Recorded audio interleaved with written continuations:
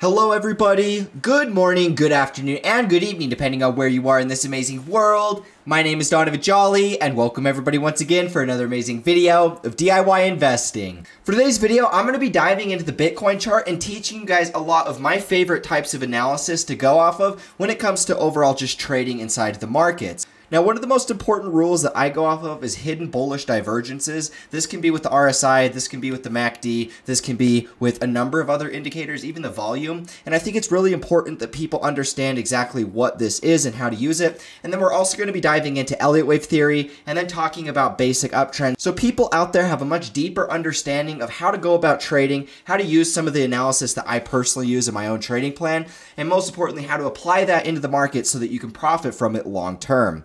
If you're new and just finding this channel, always remember to do me a favor by leaving a like, comment, and subscribing to this channel for more updates. Make sure you hit the notification bell so you don't miss out on any of these new videos like the one provided for you here. And make sure you guys join the Discord server or download my free ebook. Links are going to be provided for you in the description for that. With that being said, thank you guys so much for tuning in, and let's jump right into this amazing video today.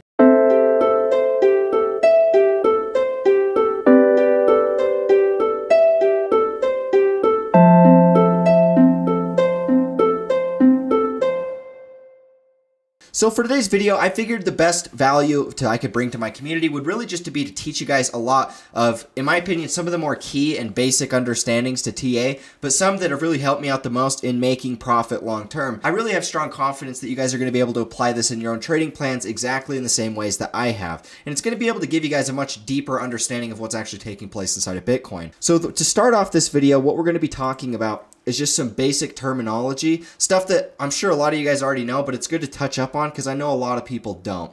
So, inside of a market, what is it that actually makes a market bullish or bearish? Well, obviously, it's the trend. And so, inside of a bull trend, this is what you're going to actually see. This is called an uptrending market. It's where you see higher highs and higher lows. So, the market's making a higher high, and then it has these little pullbacks, but it's what's known as a higher low. It's always making a higher low than the previous move before it, right? And that's what's making an uptrend all the way through. Now, in a downtrend, it's obviously the reversal point. We are making lower lows and lower highs, lower low, lower high, lower low, lower high. And this is really easy to understand, but I know a lot of people still struggle with that. And they don't really just choose to use it on the shorter time frames. In my opinion, what gives us all a much greater understanding of what's about to take place. Now, this is one of just the most basic rules, but I know a lot of people are still struggling with understanding what's happening inside of the Bitcoin chart.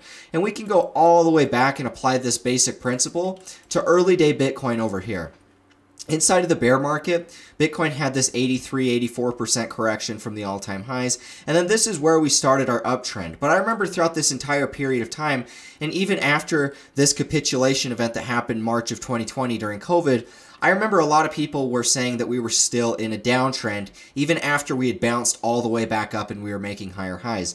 And there was a few reasons why people thought this. I mean, Bitcoin was still below its all-time highs, but in the short-term trend, it was obvious that we were making higher highs and higher lows, even though a lot of people were caught off guard. And by understanding these basic rules, it's going to help to apply in what's happening in today's Bitcoin so that you guys have a much deeper understanding. Because I know a lot of guys are confused, wondering if we're about to go into a bear market. A lot of people are freaking out right now, which is to be understanded. I mean, we've been in a year-long corrective phase. Even though I'm not personally worried about it, I know a lot of people out there are, especially people that have never been through a bear cycle or have never at least been through an entire bull cycle because this has just been a very volatile period. Now, this is where we get our low, right? This is the very first low that we ever put in. Um, and this was the lowest low that we put in here inside of the bull run, right? So this is our low, and then that's where Bitcoin broke up to 14K. Now, if you guys notice, Bitcoin had a big sell-off throughout this period of time. We had a 72% correction all the way back down um, from the bottom of that correction, right? And it was a very volatile time, but keep in mind, this low put in right here is a higher low from this one, right? We still didn't go below $3,200, which was the low of the bear market. We, you know, we our low here was about 4,000, 3,800, depending on which exchange you're actually looking at. But it was still higher than our all-time low. And so this is still a higher low. And this move to 14K was obviously our higher high, right? So our low, higher high, higher low. And then this is where we started breaking up. I remember when we were at this point here, where we had just flipped this previous resistance at about 10k and a lot of people were still saying that this was bearish. We weren't going to be breaking out. And i was one of the people that was very confident that we were going to be breaking out because of the fact we had put in a higher low from this move down here. I knew that this was an uptrend. Yes we were below the all-time high at 20000 but this is still the bear, the very early stages of an uptrend. And so we're, we were right here in this first move. Bitcoin bottomed at 3200 14k back down to like 3800 here. This was our first move in that uptrend. And so even though we were below our previous all-time high we can still make the beginning stages of an uptrend and it will happen still below the previous resistance in a cycle right? And so that's what catches a lot of people off guard. Now keep in mind that we're at this point here in this trend where we've made another higher high that took us all the way up here to 65k and then we made another higher low because keep in mind when we sold off here and we bottomed at you know 29,000 uh, it was still a much higher low than the low we put in over here at 3,800 right? So this is still uptrending. If we drew a trend line from here um, it wouldn't line up super well uh, but we can see that this is still making higher highs and higher lows overall on this parabolic trend now, this is where we get into the part where this has caught a lot of people off guard, where we have basically made another higher high, where we broke all the way up here to 69,000, but then we sold off immediately back down. And so this has caught a lot of people off guard, including myself. You guys already know that I was calling for the end of the year blow off top. Obviously, that did not happen because we ended up making this new sell off here. And we've been through a much longer corrective period. All this proved was that we're going through a longer cycle. That's the only thing that it proved. And so during this period, um, if we didn't make a lower low in any sort of way, I've always been confident in assuming that we were going to be breaking up higher. And so keep in mind, guys, that this is all the same stuff. This was a higher high from the low that we stitched in here. We broke out of the all-time highs. We had our first sell-off. This was the move to 29,000 to 29,000. This was still a higher low, right?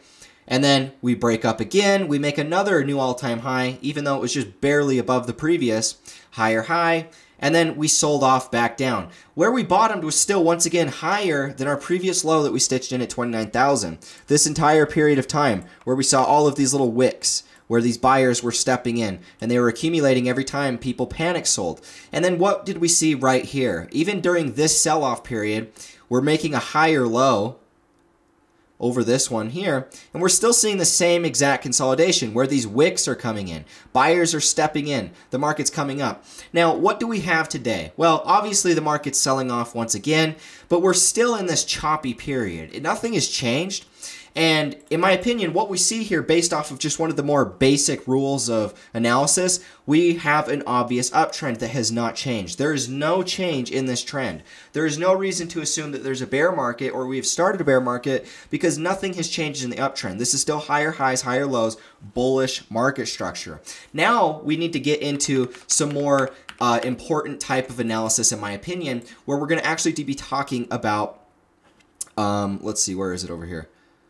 Divergences. So divergences is something I've talked a lot on this channel, and the reason I've talked a lot about these is because in my opinion, these are some of the biggest indicators that we can get before major reversal points inside of the market, and I will share with you guys some uh, examples, even though I already have many times on this channel. Now, this is going to go through weak, medium, and strong um, types of signals, and then these are going to be hidden uh, signals, right? Ones that most people wouldn't catch.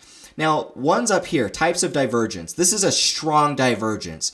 Now, this is where you're seeing the price make a lower low, right? Prices are making a lower low, but the oscillator, whether it's a MACD, whether it's the RSI, whether it's the volume, it could be a number of indicators that you use. Even the OBV is accurate in this sense.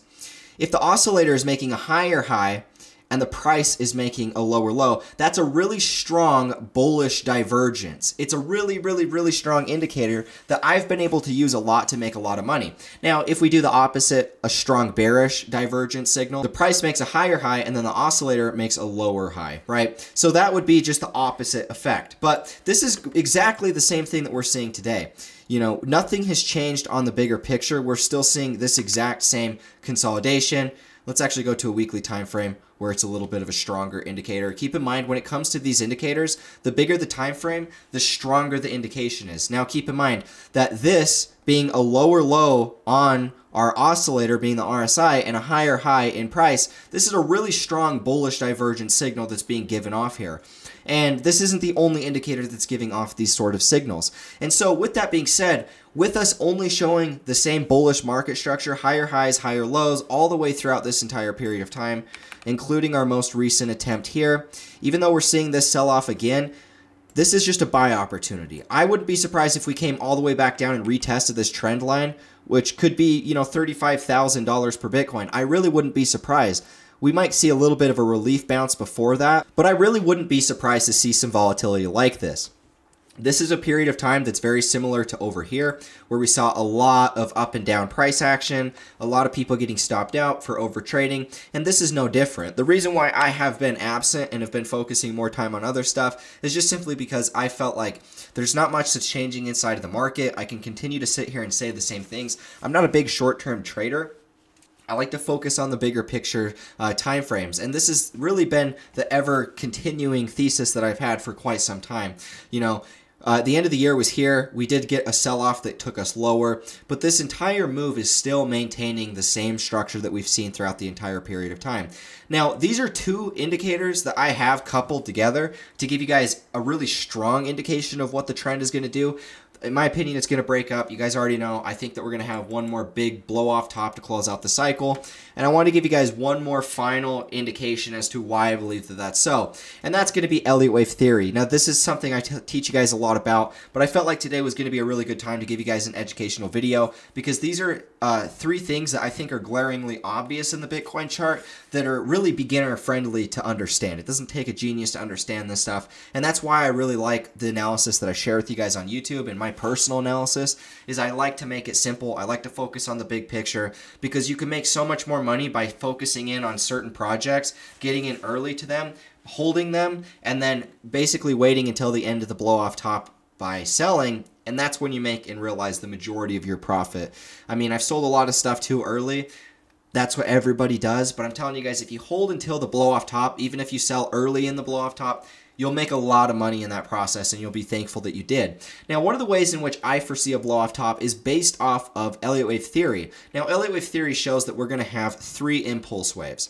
Now, impulses are even or impulses are odd numbers and corrections are even numbers, right? And so we have one, two, three, four, and then five. That's our impulse, right? So there's one impulse wave, there's two impulse waves, and there's three impulse waves. And then we get a correction here, right? The only thing that we're talking about here right now is the impulse itself. Inside of each impulse, you have these little waves, and you have three sets of three. One, two, three, four, five, A, B, C, and then that's in wave one.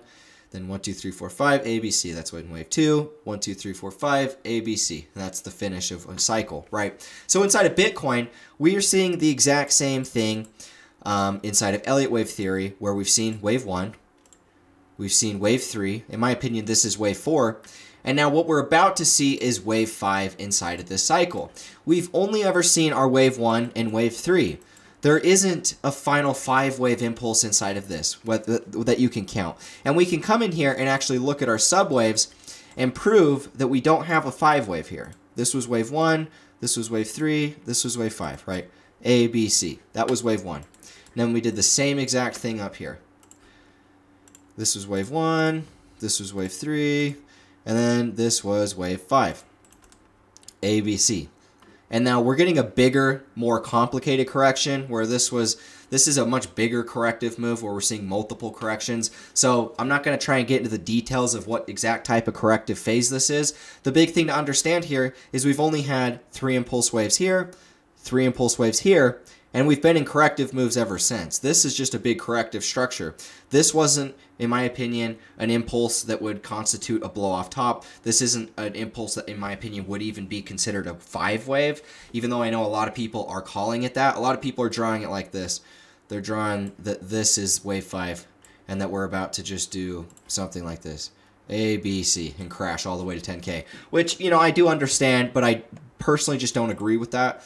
Uh, I personally agree that we would have one more final five wave push that is going to be the blow off top that takes us past 200,000. So, you know, a lot of people are going to have a hard time believing that. But I mean, a lot of people had a hard time believing me when I was saying that Bitcoin would be going to these valuations really early on in the bear market. And that's the thing, guys, is nobody's ever going to truly think it's going to happen until it happens. And then when it happens, everybody gets overconfidence and then buys the top of the cycle.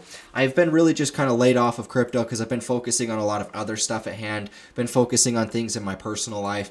And now that we're at this point in the cycle where I know a lot of people are going to get chopped up with this sell off here, with us coming back down on the shorter time frames, you know, I think a lot of people are getting ready to panic sell in the same way that they did throughout this period, in the same way they did throughout this period. But I mean, I just gave you guys three examples of really strong indicators that are showing, you know, that nothing has changed in the bigger picture. And what we have to, still to come is the final move in this cycle. We've seen a very lengthy period of consolidation here, guys.